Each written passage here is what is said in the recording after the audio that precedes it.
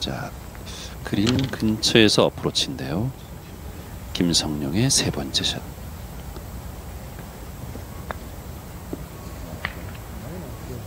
좋은데요. 들어가나요? 들어갔습니다. 김성룡 아, 그린 주변에서 버디 만들어내는군요. 감각적으로 쳤어요. 약간 손목도 많이 쓰면서 쳤는데 참 즐겁게 퍼팅 그 샷이 되고 있습니다. 그렇습니다. 2017년에 이 카이도 시리즈 유진그룹 올포유 전남 오픈 with 무안 CC에서 데뷔 10년 만에 우승을 차지했었던 김성용 선수. 연습 라운드 할 때도 nine홀밖에 못 쳤거든요. 네. 그리고 왼쪽 골반이 아프다고 그랬었는데 아, 그래요? 네. 네. 교통사고를 바로 당해서 또 성적은 나쁘지 않습니다. 아, 이 태권도를 해서 그런지 정신력이 대단한 것 같아요.